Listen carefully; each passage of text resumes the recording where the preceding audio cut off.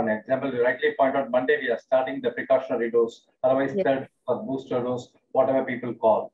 Right now, yes, as you rightly told, comorbid conditions people, two doses of vaccinations, still the chances of getting COVID is still possible. It's not severity, it's still the infection is possible for people who have taken two doses, people who has got underlying comorbid conditions.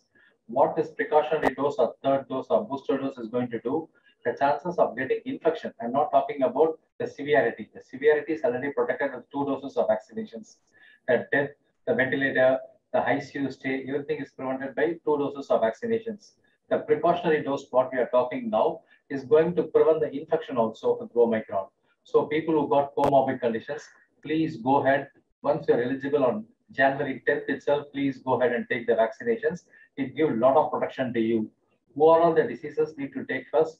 People with all comorbids, diabetic, chronic kidney disease, heart, coronary artery disease patients, immunosuppressed those, for example, cancer chemotherapy, or people taking long-term steroids, please go ahead because your immune system is not appropriate.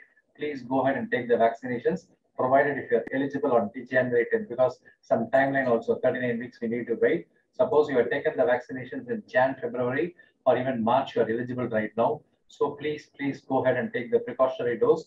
Definitely it reduces the infection risk, not only the death, not only the severity, it prevents the infection risk itself.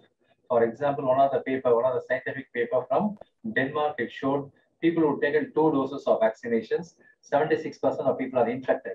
People who have taken the precautionary dose or third dose we call, only 7% of the people are infected. So it dropped from 76% to 7% because of the third or booster dose or precautionary dose, whatever dose. So without fail, people got comorbid conditions, you are eligible. Government is also given permission to take vaccinations without hesitations. What you have taken for the first dose and second dose, please go and take the precautionary dose.